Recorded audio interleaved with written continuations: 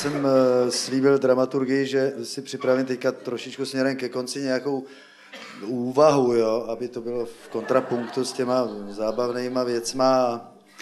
Já jsem o tom teda přemýšlel a musím říct upřímně, že jako úvaha přímo, to nevím, jo, jestli je to, protože to by mělo být tak nějak, takže nevím, jo, ale ne, e, měl bych jedno, jako napadlo mě, že já měl teďka na rozky dávno, jo, 47, tak normálně to proběhlo, že jsme udělali si se ženou takovou jako malou oslavu, nic honosného, prostě koupil jsem nějaký chlebíčky, vínko jsme si otevřeli, přiťukli, že jo, popřáli pusa.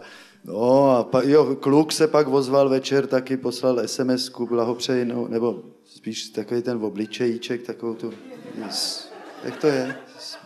Jak se, smajlíka, no, smajlíka, Mirek.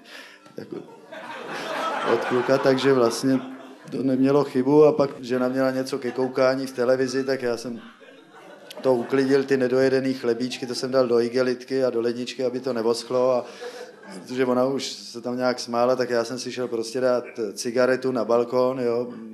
Jako moje paní nemá ráda, když jí kouří v bytě, tak jsem si tam jako kouřil a teďka nahoře byly ty hvězdy rozářený a já jsem vlastně v té chvíli tak jako bilancoval, jestli ten život vlastně stál za to, jo.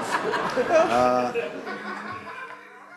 ne, jako byly momenty teda, který bych neměnil, jo, to, to byly jako, už proto, že já nevím, se, se užilo srandy a že jsme se nasmáli, teď to víte sami, jako prostě to začalo už třeba na základce, jo, to, nevím, co bych vybral, protože to byly mraky, ale vzpomíná si, že hned snad první nebo ve druhé třídě, já nevím, jestli to byla holka, teď si vydala to přezutí a teď si nějak popletla ty, ty bačkory nebo co a dala si levou na pravou, jo. A teď jako přišla do té třídy a takhle to měla úplně.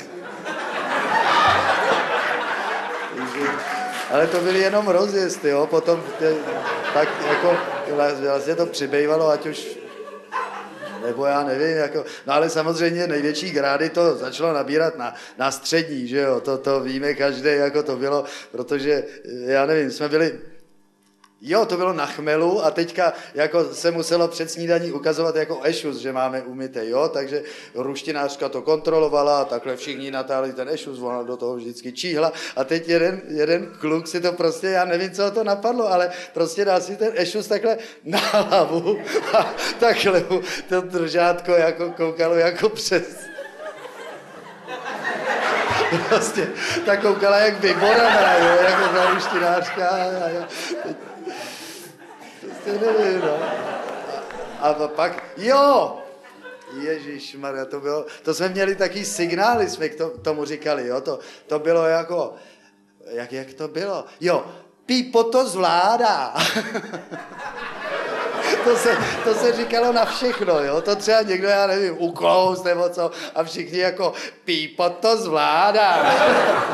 to se pak říkalo na všechno. Jo? A pak stačilo říct už jen jako Pípo.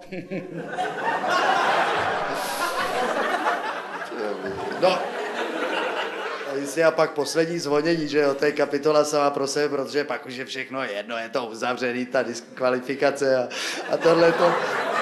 A teď nevím, někoho napadlo snad mě dokonce, že si jako veme, jako, že jsme vězňové, nevím, proč, ale prostě neměli jsme nic jiného, tak jsme si vzali takhle pyžamo na sebe a takhle jsme se sešli a takhle jsme mašírovali jako, jako, jo, jako ty vězňové, to jsme něco bručili a teď jsme přišli do metra, jo, a tam stál ten dozorčí a ty, koukal jako blázen, jo, a kam jedete? A ještě někoho, do, koho z nás napadlo a říkal, jako na Pangrác jedeme, to já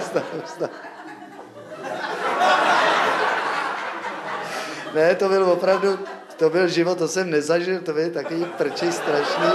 A, pak to, ne, pak to na výšce, tam na ekonomce, tak tam to taky bylo dobrý.